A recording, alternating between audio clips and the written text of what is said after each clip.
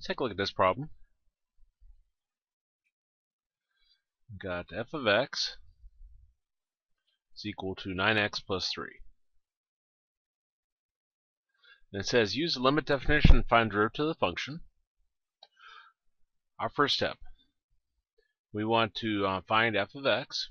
Well, f of x is given. So we got 9x plus 3. Our second step, we want to find f of x plus h. Well, this is just evaluating a function. So we're going to go through our, uh, original function, 9x plus 3, and wherever we have an x, we'll put in parentheses. Everything else remains exactly the same. the 9's there, the plus 3, I just replace the x with parentheses.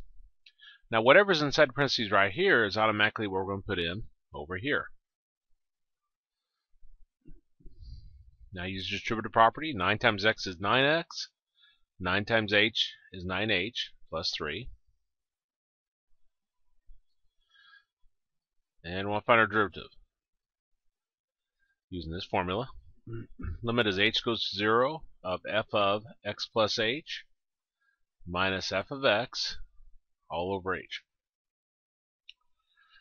So we got limit as h goes to 0. Well, f of x plus h we said was 9x plus 9h plus 3.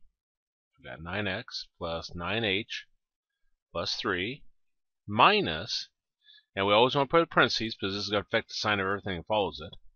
f of x, which we said was 9x plus 3. All over h.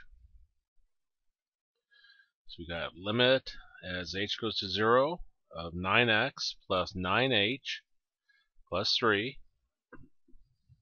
Now negative out in front of it, parentheses flips the sign of everything inside. So flip sign of the 9x and of the 3. So this becomes a negative 9x and minus 3 over h. Well, we'll combine together like terms. Here we got 9x minus 9x, those are going to cancel. Here we got 3 minus 3, those are going to cancel. So we got limit as h goes to 0 of 9h over h. These h is going to cancel. And then we got limit as h goes to 0 of 9.